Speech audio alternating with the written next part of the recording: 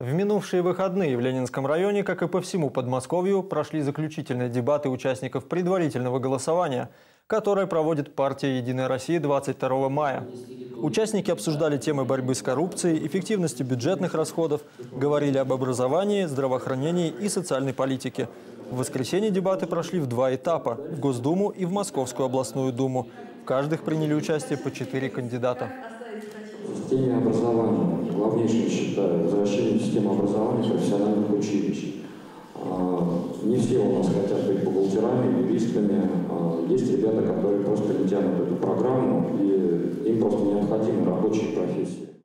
Присутствующие на дебатах местные жители задавали интересующие их вопросы. Вы сказали, что вас поддерживает местная власть, у вас там все хорошо. Зачем вы тогда идете дальше в политику? Для меня не главное, чтобы меня поддерживала местная власть. Для меня главное, чтобы сегодня меня поддерживала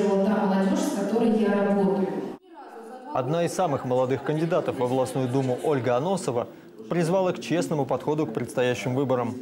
Я все-таки вас призываю прийти 22 мая на праймерис, сделать свой правильный и честный выбор и слушать нас, молодых, активных и перспективных.